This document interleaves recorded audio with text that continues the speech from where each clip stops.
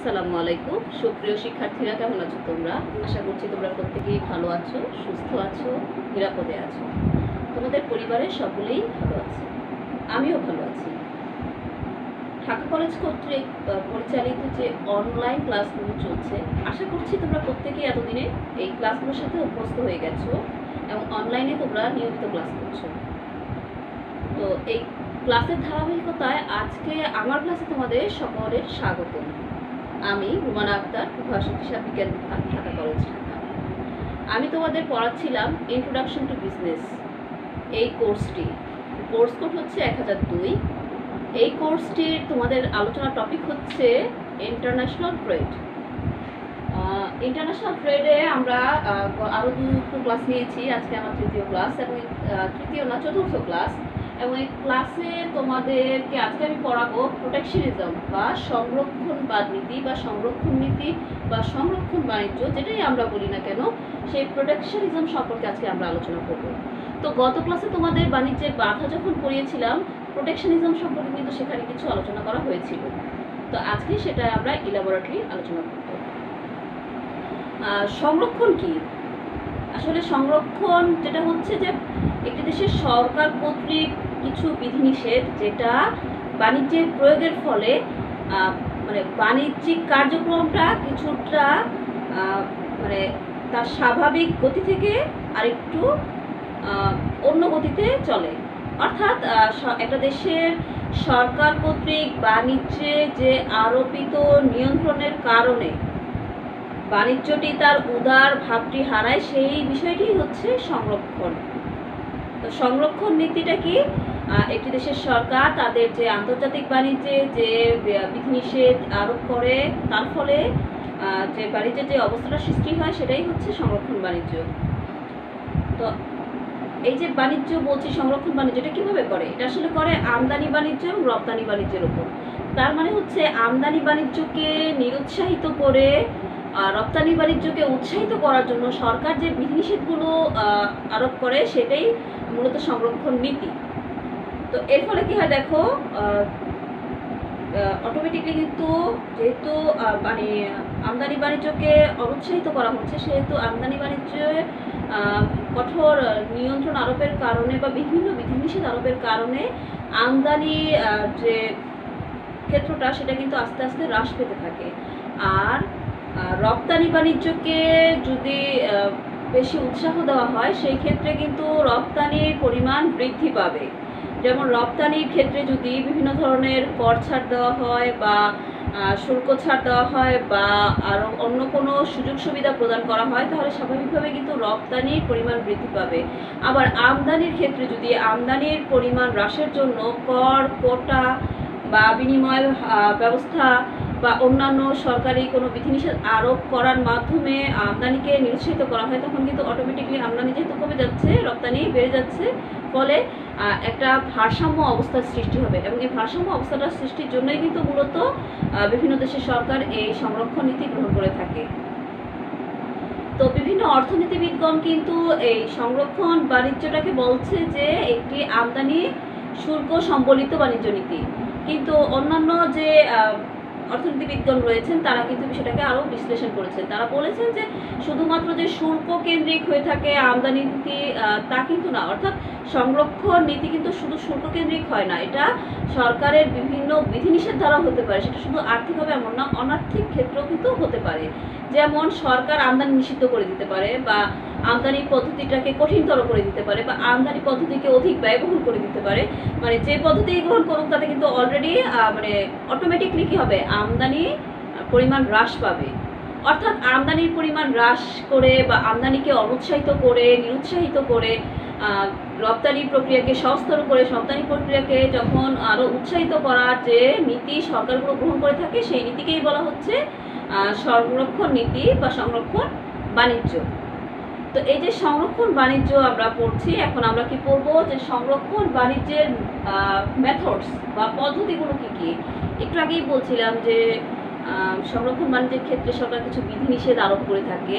তো সেই বিধিনিষেধগুলো কোন কোন ক্ষেত্রে আরোপ করে আমরা একটু দেখে নিই। প্রথমে যেটা আছে ইম্পোস্ট ইম্পোর্ট ডিউটি মানে আমদানি শুল্ক ধার্য। তো এই যে আমদানি শুল্ক, এই আমদানি শুল্কটা কীভাবে ধার্য করে? বিভিন্ন ধরো একটি প্রোডাক্ট আমদানির ক্ষেত্রে শুল্ক বাড়িয়ে দিয়ে কি করতে পারে? সেই আমদানি পরিমাণটাকে হ্রাস করতে পারে। আমদানির পরিমাণ যদি হ্রাস করে, তাহলে জনগণ কিন্তু দেশীয় প্রোডাক্টের প্রতি বেশি আকৃষ্ট হয়, তাই না? মানে ব্যাপারটা হচ্ছে এরকম যে আমদানির পরিমাণ যদি আমরা কমিয়ে দেই, তাহলে জনগণ একটি দেশের ভোক্তা ওই দেশের প্রোডাক্টের প্রতি বেশি আগ্রহ দেখাবে। তো এই আমদানির পরিমাণ কমানোর জন্য শুল্ক ধার্য করাটা সবচেয়ে ব্যবহৃত একটি অস্ত্র মূলত এই সংরক্ষণ বাণিজ্যের ক্ষেত্রে। তো এই যে শুল্ক, এটা কিন্তু দুইভাবে বাড়ানো যায়। একটা হচ্ছে অ্যাড ভ্যালোরাম আর একটা হচ্ছে স্পেসিফিক ডিউটিস অ্যাড ভ্যালোরাম বিষয়টা আসলে করা হয় মূলত আমদানিকৃত পণ্যের মূল্যের ওপর। অর্থাৎ মোট মোট মূল্যের ওপর যে শুল্কটা ধার্য করা হয় সেটাকে বলা হচ্ছে অ্যাড ভ্যালোরেম আর ওজনের ওপর, অর্থাৎ আমদানিকৃত পণ্যের ওজনের ওপর যে শুল্কটা দেওয়া হয় সেটাকে বলা হচ্ছে স্পেসিফিক ডিউটিস একটি উদাহরণ দিই তাহলে বুঝতে পারবে। যেমন ধরো, তুমি যদি অন্য কোনো দেশ থেকে স্বর্ণ কিনতে চাও, তাহলে তোমাকে হয়তো একশো গ্রাম পর্যন্ত স্বর্ণ ফ্রি বাকি স্বর্ণের ওপরে তোমাকে কিন্তু প্রতি গ্রামে একটা টেরিফ বা ট্যাক্স বা শুল্ক যেটাই দিতে হচ্ছে। বা বিদেশ থেকে তুমি কিছু পণ্য আনবে, দেখবে যে প্রত্যেকটা বিমানে কিন্তু ওয়েট দেওয়া থাকে, তাই না? তো এই যে ওয়েটগুলো উপরেও কিন্তু একটা শুল্ক ধার্য করা হয়ে থাকে।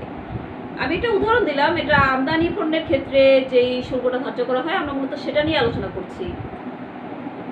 তো এরপরে আসি আমরা কোয়ান্টিটেটিভ রেস্ট্রিকশন ইন ইম্পোর্ট অর্থাৎ পরিমাণগত বাধা মানে আমদানির পরিমাণগত বাধা।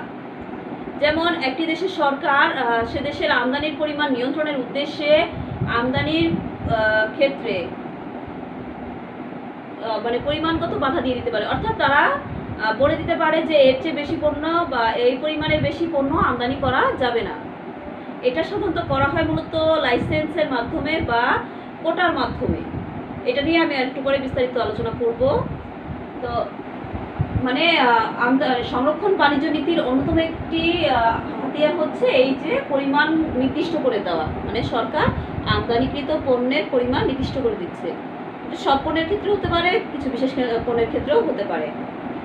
এরপরে আসি বাউন্টিস অ্যান্ড সাবসিডিজ মানে এখানে হচ্ছে ঘাটতি প্রদান করা।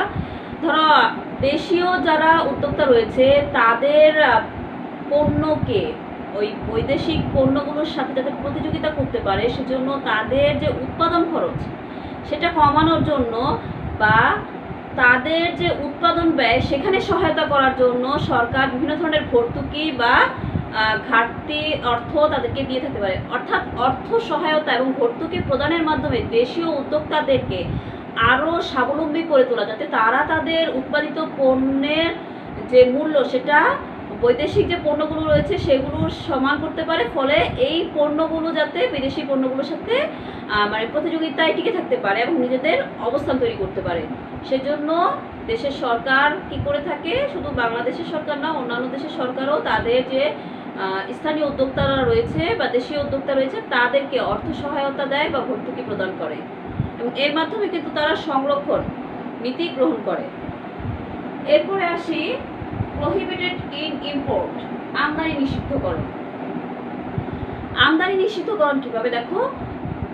অর্থনৈতিক কারণে, সামাজিক সামাজিক কারণে বা রাজনৈতিক কারণে একটি দেশ বা দেশের সরকার কিন্তু কিছু কিছু পণ্যের আমদানি নিষিদ্ধ করে দিতে পারে, তাই না? মানে বিষয়টা হচ্ছে এরকম যে সরকার ওই দেশের রুচি কালচার অনুযায়ী যেসব পণ্য বা আর্থসামাজিক অবস্থার কারণে বা রাজনৈতিক কারণে বা ধর্মীয় কারণে বিভিন্ন ধরনের পণ্যের ক্ষেত্রে তারা কি নিষেধাজ্ঞা জারি করতে পারে? এটাও কিন্তু এক ধরনের সংরক্ষণ। যেমন উদাহরণ দিলে তোমরা বুঝতে পারবে। যেমন কিছুদিন আগে গরুর মাংস আর্জেন্টিনা থেকে কেনার ব্যাপারে কিন্তু যুক্তরাষ্ট্র নিষেধাজ্ঞা দিয়েছিল। আবার চীনের দুধে যখন মেলামাইন পাওয়া গিয়েছিল শিশু খাদ্যে, তখন কিন্তু বিভিন্ন দেশ সেই শিশু খাদ্য বা দুধের উপর কি দিয়েছিল? নিষেধাজ্ঞা দিয়েছিল। মানে এটা হচ্ছে কি সামাজিক বা প্রয়োজনীয় কারণে বা অন্য কোনো কারণে বিভিন্ন দেশের সরকার কোনো নির্দিষ্ট পণ্যের ক্ষেত্রে নিষেধাজ্ঞা দিতে পারে এবং এই নিষেধাজ্ঞার মাধ্যমে তাদের বাণিজ্য সংরক্ষণ করে এবং দেশীয় যে প্রোডাক্টগুলো আছে, সেই প্রোডাক্টগুলোর প্রতি জনগণকে আকৃষ্ট করার লক্ষ্যেও অনেক সময় অপ্রয়োজনীয় বা ক্ষতিকারক পণ্য আমদানিতে সরকার নিরুৎসাহিত করার লক্ষ্যে সরকার কিছু কিছু পণ্য কিন্তু নিষেধাজ্ঞা দিয়ে দেয়, কিছু কিছু পণ্যের উপর নিষেধাজ্ঞা দেয়। তো এরপরে আসি ইম্পোস্ট এক্সপোর্ট ডিউটি রপ্তানি শুল্ক ধার্য। অর্থাৎ তোমার রপ্তানি শুল্কের ক্ষেত্রে, রপ্তানিকৃত পণ্য শুল্কের ক্ষেত্রে দেখা যাবে সরকার অনেক ক্ষেত্রে ছাড় দেয় বা মানে সহজে যাতে তারা তাদের পণ্যগুলো রপ্তানি করতে পারে, যেমন বন্দরে কাস্টমস ডিউটি বা অনেক যে জটিল কার্যগুলো রয়েছে সেগুলো যাতে সহজে করতে পারে এবং সেখানে শুল্কের যে ব্যাপারটা আছে সেখানে ছাড় দেওয়ার মাধ্যমে রপ্তানি যে প্রক্রিয়া সেটাকে আরও গতিশীল করার লক্ষ্যে কিন্তু সরকার মানে শুল্ক ক্ষেত্র বিধিনিষেধ আরোপ করে, ফলে রপ্তানির পরিমাণ বৃদ্ধি পায়। এবং এই যে রপ্তানির পরিমাণ বৃদ্ধি পেলে কিন্তু সেটা অটোমেটিকলি দেশের অর্থনীতিতেই কিন্তু একটা প্রভাব পড়ে, তাই না? তো ব্যাপারটা হচ্ছে এরকম যে শুধু যে আমদানি ক্ষেত্রেই শুল্ক বৃদ্ধি করে তা না, রপ্তানির ক্ষেত্রেও কিন্তু শুল্ক ছাড় দেয় বা বিভিন্ন ধরনের যে রাজস্ব ভুক্ত যে বিষয়গুলো রয়েছে রপ্তানির কারণে পাওয়া যায়, সেক্ষেত্রেও কিন্তু ছাড় দিয়ে থাকে সরকার। ফলে রপ্তানির ক্ষেত্রে উদ্যোক্তারা আরও বেশি উৎসাহিত হয়। এরপরে আসি ইম্পোর্ট লাইসেন্স অর কোটা একটু আগে যেটা বলছিলাম তোমাদের যে impost sorry quantitative restriction in ইম্পোর্টের ক্ষেত্রে যে লাইসেন্স ফি এবং কোটার মাধ্যমে সরকার পরিমাণগত বাধা প্রদান করে, সেটা নিয়ে এখন আলোচনা করব আমরা এই লাইসেন্স ফি এবং কোটাতে। দেখো, প্রত্যেকটা দেশই তাদের বাণিজ্যকে সংরক্ষণের উদ্দেশ্যে তাদের যে আমদানি বা রপ্তানির যে প্রক্রিয়াটা রয়েছে, সেখানে কিন্তু লাইসেন্সের ব্যবস্থা আছে। তো এই যে আমদানি লাইসেন্স বা কোটাতে, আমদানি লাইসেন্স এবং কোটা দুইটার ক্ষেত্রে কিন্তু সরকার কি করে যে অন্য দেশের সাথে কি পরিমাণ আমদানি করবে বা রপ্তানি করবে, সেক্ষেত্রে তারা একটি নির্দিষ্ট পরিমাণের কথা উল্লেখ করে চুক্তি করে। তো ওই যে পরিমাণটা, সেই পরিমাণটাই কিন্তু যারা আমদানি করতে চায় ওই প্রোডাক্টগুলো যে প্রোডাক্টের উপর চুক্তি হয়েছে, সেই প্রোডাক্টগুলো যখন আমদানি করতে যায়, সেখানে সরকার পরিমাণের কথা উল্লেখ করে দেয়। সেটা লিমিটেড হতে পারে আনলিমিটেড হতে পারে। সাধারণত যে পরিমাণ পণ্যের আমদানির চুক্তি হয় বা রপ্তানির চুক্তি হয়, সেক্ষেত্রে ওই পরিমাণ পণ্যের জন্যই কিন্তু মূলত লাইসেন্স ফিতে বলা থাকে। অর্থাৎ আমি একা যে আমদানিকৃত পণ্য আমদানি করি তা কিন্তু না। বাংলাদেশে অনেক ধরনের ব্যবসায়ীরা রয়েছে, তারা বিভিন্ন ধরনের পণ্য আমদানি করছে। তো এই যে কোন কোন কোন পণ্য আমদানি নিষিদ্ধের তালিকায় আছে, কোনগুলো নেই, কোনগুলো কি পরিমাণে আমদানি করতে পারবে, সেগুলো কিন্তু লাইসেন্সে এবং কোটাতে উল্লেখ থাকে। ফলে ওই দেশের জনগণ ওই ঠিক ওই পরিমাণ প্রোডাক্টই কিন্তু আমদানি করতে পারে।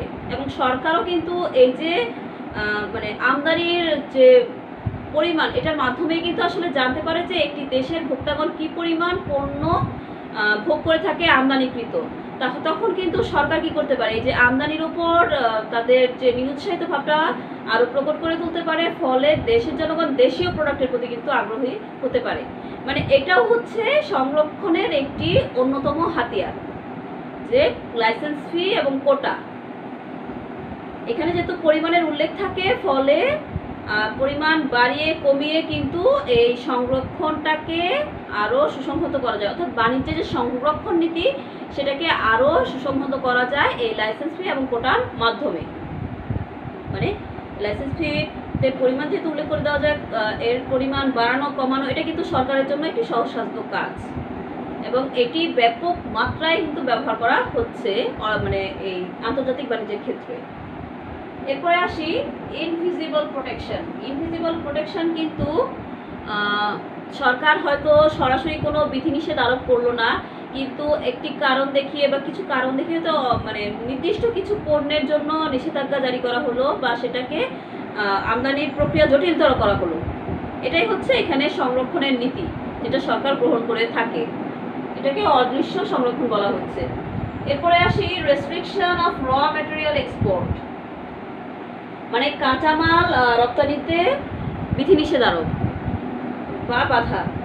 তো এই যে কাঁচামাল রপ্তানি যে আমাদের দেশীয় যে উদ্যোক্তাগণ আছেন, তারা যদি কাঁচামাল উৎপাদনে মানে কাঁচামাল ব্যবহার করে পণ্য উৎপাদন করতে পারে, তাহলে সেই পণ্য যদি আমাদের দেশের জনগণ গ্রহণ করে, তাহলে সেটা কিন্তু আমাদের দেশের অর্থনীতির জন্য ভালো, তাই না? কিন্তু যদি আমাদের দেশেও কাঁচামাল রপ্তানি করে সেখান থেকে পণ্য, সেই রপ্তানিত পণ্যের দ্বারা তৈরি পণ্য আবার আমরা আমদানি করে ব্যবহার করি, তাহলে সেটা কিন্তু আমাদের দেশের অর্থনীতির জন্যই ক্ষতিকর।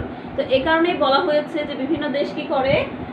মানে রেস্ট্রিকশন দেয় হচ্ছে র ম্যাটেরিয়াল এক্সপোর্টের ওপর। অর্থাৎ তারা তাদের যে কাঁচামাল রপ্তানির ক্ষেত্রে তারা বিভিন্ন ধরনের বিধিনিষেধ আরোপের মাধ্যমে এখানে কাঁচামাল রপ্তানির পরিমাণ কমিয়ে দেশের যে শিল্প বিকাশের বিষয়টা সেটাকে আরও মানে শক্তিশালী করার লক্ষ্যেই এই নীতিটি গ্রহণ করে। মানে কাঁচামাল রপ্তানিতে বাধার সৃষ্টি করে এবং সেই কাঁচামাল যেটা রপ্তানি হবে, সেই কাঁচামাল দিয়ে দেশীয় উদ্যোক্তাগণ ওই প্রোডাক্টটি তৈরি করে দেশের বাজারে বিক্রয় করবে, ফলে দেশের অর্থনীতি তাতে অধিক চাঙ্গা থাকবে। এরপরে হচ্ছে এক্সচেঞ্জ রেস্ট্রিকশন অর্থাৎ বিনিময় নিয়ন্ত্রণ।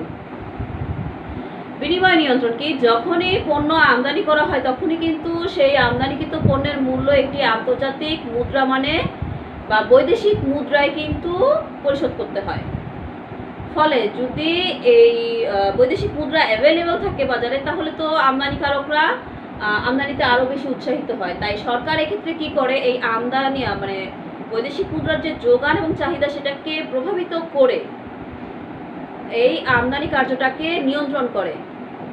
মানে এই যে বিনিময় নিয়ন্ত্রণ বিনিময় নিয়ন্ত্রণ বা এক্সচেঞ্জ যে নিয়ন্ত্রণ কন্ট্রোল এটার মাধ্যমে কিন্তু মূলত আমদানিটাকে নিয়ন্ত্রণ করা হচ্ছে এবং এই নীতিটাও সরকার কিন্তু গ্রহণ করে একটি দেশের আমদানিকে নিরুৎসাহিত করার লক্ষ্যে।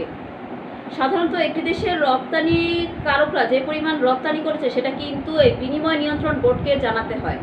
ফলে সরকারের নলেজে কিন্তু থাকে কি পরিমাণ বৈদেশিক মুদ্রা একটি দেশের রিজার্ভে রয়েছে বা বাজারে কি পরিমাণ মুদ্রা সরবরাহ রয়েছে। তো যখন দেখা যাবে যে আসলে বাজারের বৈদেশিক মুদ্রার পরিমাণ কমে যাচ্ছে এবং রিজার্ভও কমে যাচ্ছে, তখনই কিন্তু সরকার এই সংরক্ষণের নীতিতে চলে যায় যে মুদ্রার বিনিময় হারটাকে তারা নিয়ন্ত্রণ করে। অনেক সময় কিন্তু মুদ্রার অবমূল্যায়নও করে। যেমন, আমি একটা উদাহরণ দিই, তাহলে বুঝতে পারবে। ধরো বাংলাদেশের এক টাকা এবং ভারতের এক টাকা এক সমান। সমান ধরে নিলাম।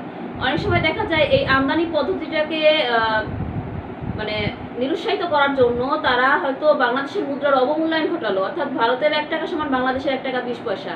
তার মানে আগে যে পরিমাণ পণ্য আমদানি করতে এক টাকা লাগতো, এখন সেই পরিমাণ পণ্য আমদানি করতে এক টাকা বিশ পয়সা খরচ করতে হচ্ছে। অর্থাৎ ক্রয়ে আরও অধিক ব্যয় হচ্ছে। ফলে আমদানি ব্যয়টা বৃদ্ধি পাচ্ছে, মূল ফলে দেশে ওই পণ্যের কি হচ্ছে, মূল্যমানটা বৃদ্ধি পাচ্ছে। ফলে জনগণের মধ্যে ওই পণ্যটি ক্রয় করার ক্ষমতা হ্রাস পাচ্ছে এবং মানে জনগণ ওই পণ্যটি ক্রয় করতে নিরুৎসাহিত হচ্ছে। তো এভাবে মুদ্রার অবমূল্যায়নের মাধ্যমে কিন্তু বাণিজ্যের সংরক্ষণ করা হয় এবং সরকার এই বিনিময় যে নিয়ন্ত্রণ, এই ব্যবস্থাটিও কিন্তু আন্তর্জাতিক বাণিজ্য সংরক্ষণের জন্য ব্যবহার করে থাকে। এরপরে আসি অল্টারেশন ইন গভর্নমেন্ট এক্সপেন্ডিচার মানে সরকারি ব্যয় পরিবর্তন। আসলে এটা হচ্ছে এরকম যে বিদেশি পণ্যের পণ্যের আমদানি নির্ভরতা থেকে সরকার যদি বেরিয়ে এসে দেশীয় পণ্য ক্রয়ে বেশি আগ্রহী হয়, তাহলে কিন্তু মানে আমদানির ক্ষেত্রে একটা ব্যাপক প্রভাব পড়ে। এবং এতে দেশীয় প্রোডাক্টের ক্ষেত্রে দেশীয় শিল্প যেমন বিকশিত হয়, তেমনি আমাদের বৈদেশিক মুদ্রার রিজার্ভও কিন্তু দেশেই থেকে যায়। অর্থাৎ এটা আমাদের দেশের অর্থনীতির জন্য কিন্তু অত্যন্ত গুরুত্বপূর্ণ ভূমিকা পালন করে। ফলে সরকার কিন্তু এই যে সরকারি ব্যয় পরিবর্তনের মাধ্যমেও সংরক্ষণ নীতি গ্রহণ করতে পারে।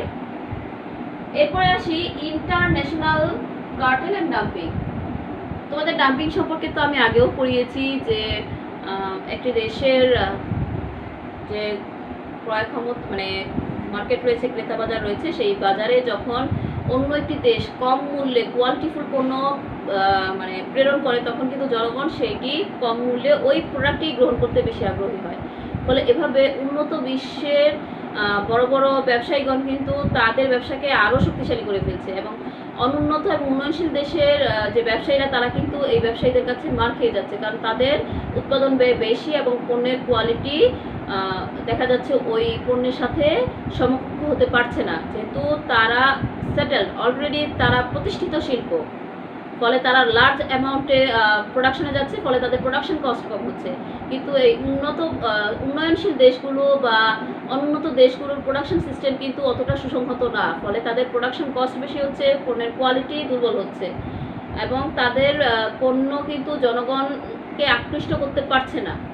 তো এই বিষয়টা হচ্ছে ডাম্পিং তাই এই বিষয়টা থেকে বেরিয়ে আসার জন্য বিভিন্ন দেশের সরকার মিলে একত্রে কিন্তু জোট করতে পারে। এখানে সরকারের তুলনায় আসলে উদ্যোক্তাগণ, বিভিন্ন দেশের উদ্যোক্তাগণ মিলে জোট করতে পারে এবং সেই জোট অনুযায়ী কিন্তু তারা তাদের পণ্য ওই সকল দেশেই মানে মানে আনয়ন করবে বা বিতরণ করবে, সেটা বা বিক্রয় করবে, সেটা হচ্ছে ওই জোটের মধ্যে থাকবে। বাইরের কোনো দেশ থেকে যাতে পণ্য ওই জোটের জোটভুক্ত দেশগুলোতে প্রবেশ করতে না পারে, সেই নীতিও সরকার গ্রহণ করতে পারে। অর্থাৎ এখানে কার্টেল বলতে বোঝানো হচ্ছে যে কতগুলো দেশের উদ্যোক্তাগণ মিলে যদি একটি সংগঠনের মাধ্যমে তারা এই ডাম্পিংটাকে রুখে দেওয়ার জন্য বা ডাম্পিংটাকে মানে ডাম্পিংয়ের সাথে প্রতিযোগিতা করার উদ্দেশ্যে যদি তারা একটা কার্টেল গঠন করে, তাহলেও কিন্তু সেটাকে সংরক্ষণ নীতি বলে ধরা হবে। অর্থাৎ আন্তর্জাতিক বাণিজ্যে এটিও একটি মানে আমদানিকে নিরুৎসাহিত করে,